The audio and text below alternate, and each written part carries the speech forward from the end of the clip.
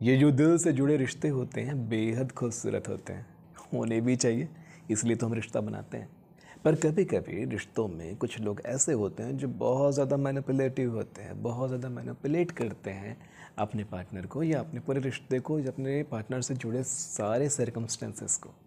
तो ऐसे कंडीशन में जो एक सॉफ्ट कॉर्नर में बैठा हुआ जो पर्सन है, जो एक्चुअली जिस पर जुल्म हो रहा है उसको कैसे पता चले कि उसका जो पार्टनर है उसे मैनुपलेट कर रहा है किसी भी तरीके से, उसे आज हम सही सही मैनर में समझेंगे। दोस्तों, हम यहाँ हील करना सीखते हैं लाइफ के छोटे छोटे प्रॉब्लम्स को, जिन्हें सीख कर आप अपनी पर्सनल और सोशल लाइफ में ग्रो करते हैं, वो भी हैप्पी वाले अंदाज में।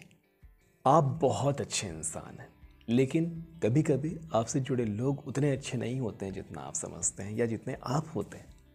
वो आपको अपने तरीके से, अपने पसंद के हिसाब से, अपनी समझ के हिसाब से, अपनी चाहत के हिसाब से मोल्ड कर लेते हैं मैनुपुलेट कर लेते हैं।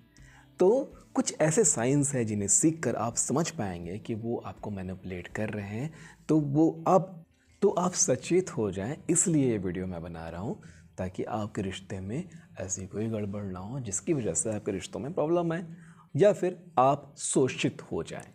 तो चलिए समझते हैं ऐसे लोग कैसे होते हैं। सबसे पहला वो अपने आप को बहुत चार्मिंग दिखाने की कोशिश करते हैं, बहुत प्यारे दिखाने की कोशिश करते हैं, बहुत ज़्यादा सेल्फ ऑब्सेस्ड होते हैं, अपने आप से ही बेहद प्यार करते हैं, अपने आप की तरफ़ ही सारा फोकस होता है।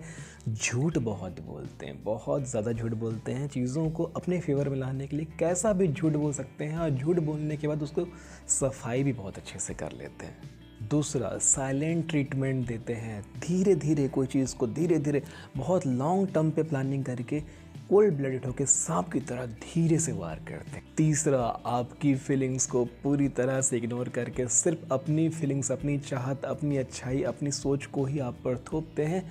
और तो और आपको दूसरों से अलग कर देते हैं, आपके अपनों से अलग करके आइसोलेट करके, अपने अंदर कंट्रोल करके रखने की कोशिश करते हैं और इसलिए ये बड़े कंट्रोलिंग भी होते हैं। चौथा, ये आपको खुद पर सवाल उठाने पर मजबूर कर देते हैं और इतना मजबूर कर देते हैं कि आप अपने आप पर सवाल उठा करके खुद ही दुखी हो जाते हैं और कभी इल्ज़ाम खुद पर नहीं लेते ब्लेम कभी खुद पर नहीं लेते, ये उनकी सबसे खास आदत होती है।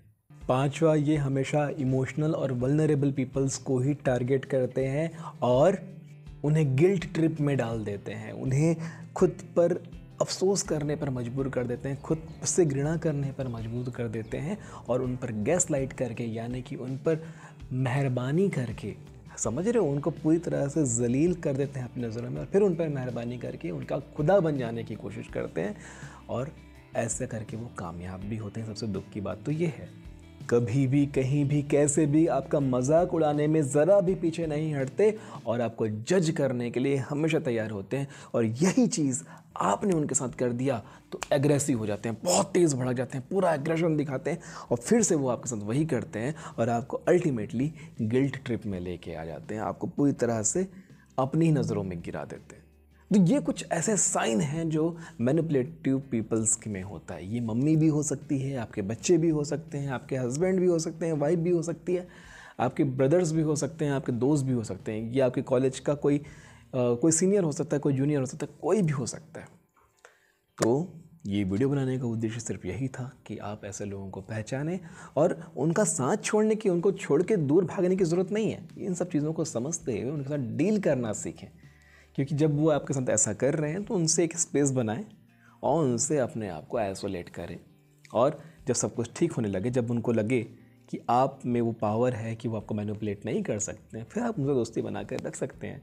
अब भाई, आपके हस्बैंड या आपकी वाइफ अगर ऐसी हैं तो रिश्ता तोड़ा तो नहीं जा सकता। बस आपको ये प्रूफ करना है कि आप वलनरेबल नहीं हो, आप कमज़ोर नहीं हो, आप सेंसिटिव हो, लेकिन इमोशनली वीक नहीं हो। आप स्ट्रांग हो और स्ट्रांग बने रहने के लिए अच्छी संगत रखिए, अच्छे लोगों से बातें कीजिए, अच्छी वीडियोस देखिए, अच्छी किताबें पढ़िए और जुड़े रहिए हमारे साथ। मिलते हैं आने वाले अध्यायों में। तब तक के लिए नमस्ते है जी।